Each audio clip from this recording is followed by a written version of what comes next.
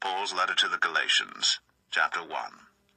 Paul, an apostle, not of men, neither by man, but by Jesus Christ, and God the Father, who raised him from the dead, and all the brethren which are with me, unto the churches of Galatia.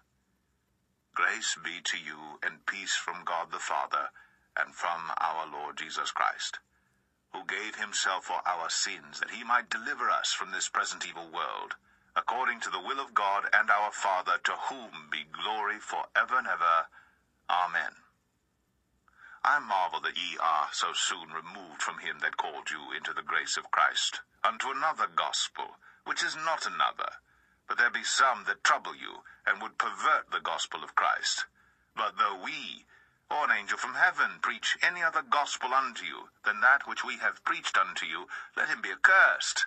As we said before, so say I now again, if any man preach any other gospel unto you than that ye have received, let him be accursed. For do I now persuade men, or God, or do I seek to please men? For if I yet please men, I should not be the servant of Christ. But I certify you, brethren, that the gospel which was preached of me is not after man. For I neither received it of man, neither was I taught it, but by the revelation of Jesus Christ.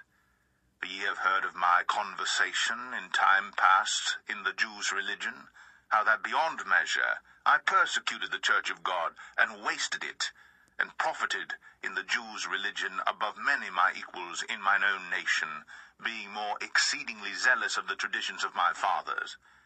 But when it pleased God, who separated me from my mother's womb, and called me by his grace, to reveal his Son in me, that I might preach him among the heathen. Immediately I conferred not with flesh and blood, neither went I up to Jerusalem to them which were apostles before me, but I went into Arabia, and returned again unto Damascus. Then after three years I went up to Jerusalem to see Peter, and abode with him fifteen days. But other the apostles saw I none, save James the Lord's brother.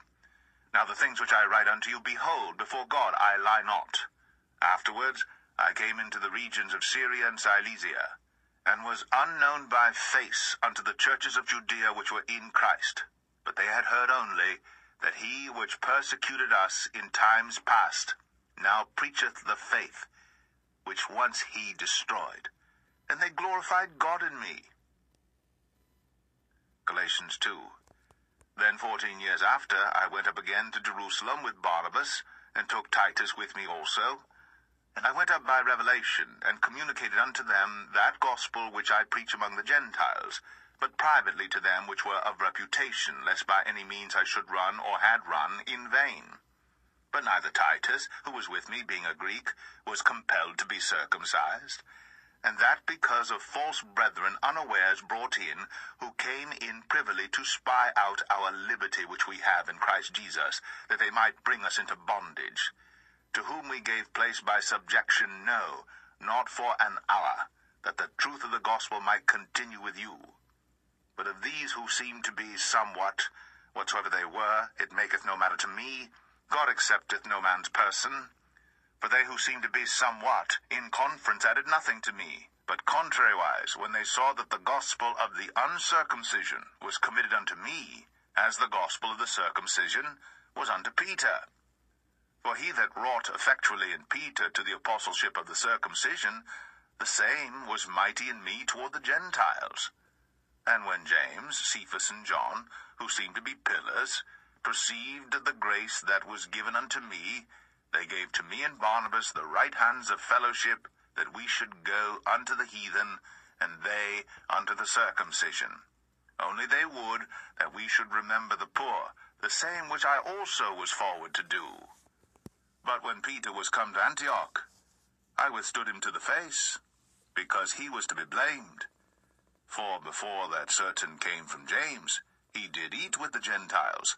But when they were come, he withdrew and separated himself, fearing them which were of the circumcision. And the other Jews dissembled likewise with him, insomuch that Barnabas also was carried away with their dissimulation. But when I saw that they walked not uprightly according to the truth of the gospel, I said unto Peter before them all, If thou, being a Jew, livest after the manner of Gentiles, and not as do the Jews, why compellest thou the Gentiles to live as do the Jews? We who are Jews by nature, and not sinners of the Gentiles, knowing that a man is not justified by the works of the law, but by the faith of Jesus Christ, even we have believed in Jesus Christ that we might be justified by the faith of Christ, and not by the works of the law. For by the works of the law shall no flesh be justified.